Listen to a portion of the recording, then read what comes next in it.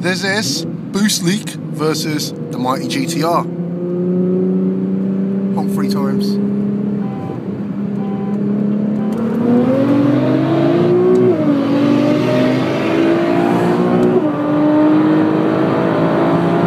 Luke, I hope you're watching this because no Vita can save you.